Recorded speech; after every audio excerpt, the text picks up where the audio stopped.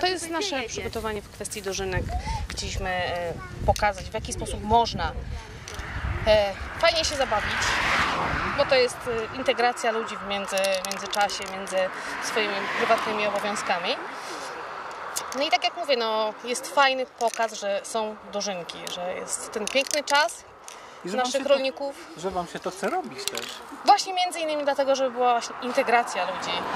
Jest, tak jak widzimy, jest e, dosyć sporo mieszkańców z naszej wsi, którzy tutaj przy- przyszli nam pomóc, e, którzy użyczyli nam wszystkich materiałów potrzebnych do tego, bo samo by to nie powstało, gdybyśmy No się właśnie, nie to zebrały. są koszty przecież, bo y, widzę i i jakieś farby, i materiał, i Tak, ozdoby. ale bardzo, bardzo chętnie e, każdy z rolników nam pomógł.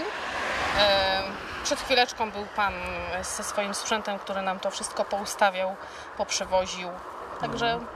Wielki szacunek i wielkie podziękowanie. No, d- ja uważam, że to szacunek Wam się należy za to, że robicie takie fajne witacze. Y, To takie podziękowanie jest też za plony, za Dokładnie. rok. Tak, dokładnie. Jesteśmy przed dożynkami. 14 września odbędą się u nas dożynki wiejskie.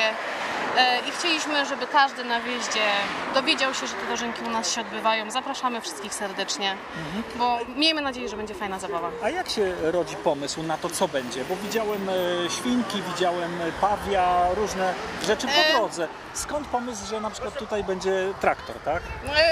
Nie ukrywam, spoglądam w, internet, znalazłam fajny pomysł. Jest on inny niż w internecie. Mam nadzieję, że ładniejszy. Także przyszłym roku będą jeszcze inne ozdoby. Nasza wieś ma być ozdobiona e, w każdym miejscu, e, w dolnych i górnych Wierzchosławicach oraz w środkowych. Ogłosiliśmy też konkurs e, na najładniejszą posesję e, w Wierzchosławicach. Ma być atrakcyjna nagroda, także mam nadzieję, że wielu mieszkańców się na to skusi. Jak długo powstaje taki, taka budowla? Szczerze, no tak od godziny 16 żeśmy rozpoczęli, nie wiem, która A. jest. No, Oś- do szóstej. Dwie godzinki. Czyli kilka godzin Wam to zajmuje. Dokładnie. Dobrze,